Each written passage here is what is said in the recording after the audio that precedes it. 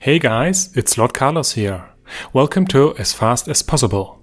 Our topic today, pause prints to embed a magnet.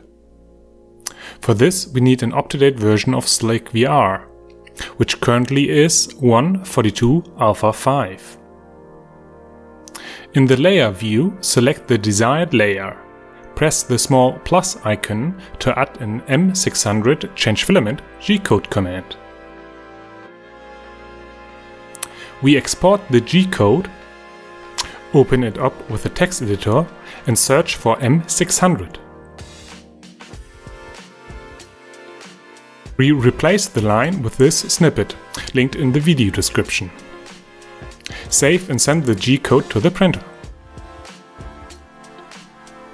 Start the print, wait for the printer to do its thing, and then when the desired layer comes, it will present its build plate.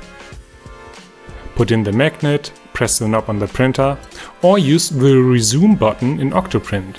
And voila, the printer continues where it left off.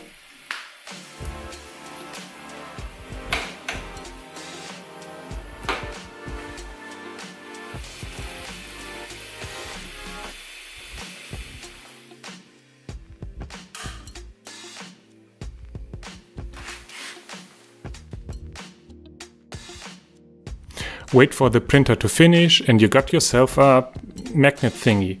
You can put it here, there, here, and you're welcome.